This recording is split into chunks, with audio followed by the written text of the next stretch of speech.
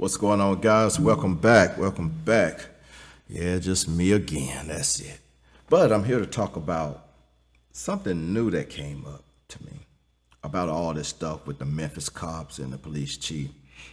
It just don't seem right. Like it's a lot more going on to this. And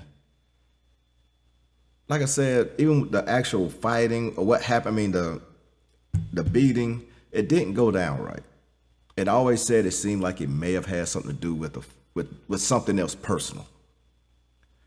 And to me, I say personal, like like knew some woman or something like that. The young man might have knew a date or whatever, but come to find out some rumors out there, and it's allegedly that uh, the young man Terrell may have been dating or messing with the one of his kids' mothers. They work at the same place. So that was a connection that they work in the same building. And just so happened this cop is here laying hands on it. All right. Now, what's really going to come out, and her ass going to get fired, that police chief. She was fired back in 2008 down in Atlanta for trying to cover up a um, sex crime by one of her sergeants. So the guy's wife came to her. They must all work there. I don't know, some shit like the way it's reported. Um, to ask her to help do whatever. So she tried to get the investigators to back off it.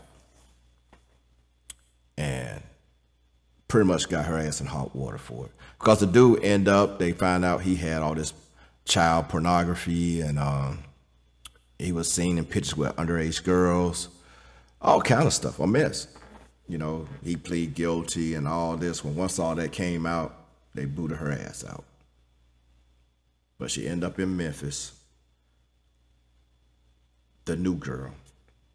All this praise, the first black woman, blah, blah, blah, in Memphis to hold a position like this. And and that's why I say we should get away from all this, all this fucking praise.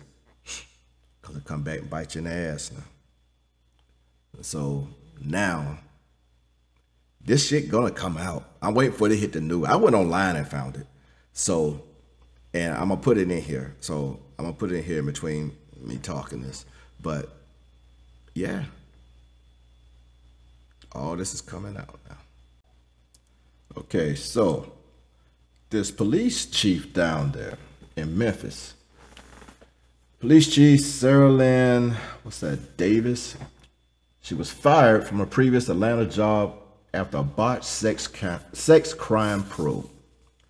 Now, how did she end up in Memphis as a police chief with something like this on her record? So who explain this to me? See, this is why we keep ending up with bad cop, bad cop. Because now you put a bad cop in charge of more bad cops. So now you understand the language of effing up. You know what I'm saying? So why why is this even going down? Why no one even checked into this?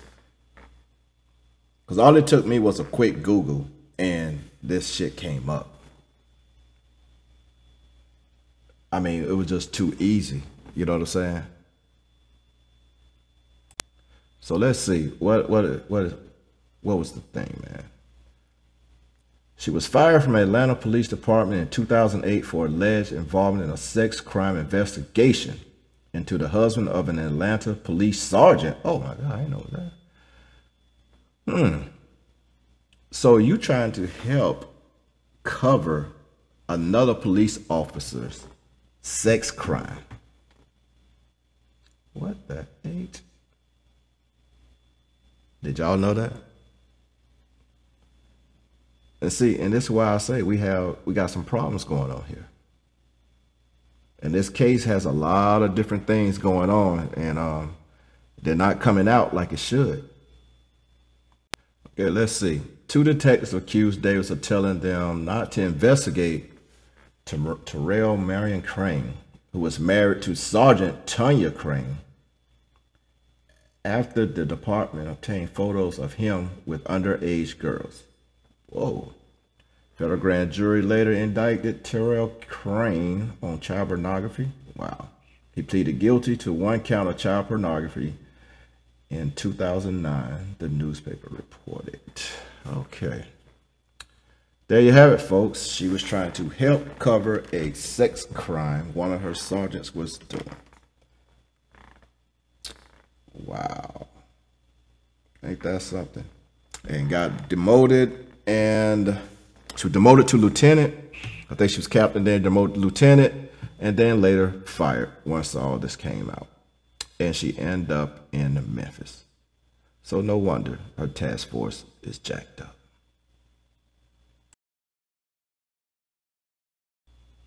So I'm gonna leave it right here for now. I'm gonna put the little clip in there and me talking about it.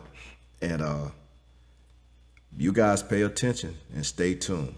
All right. So make sure you hit that notification so you can get the next one.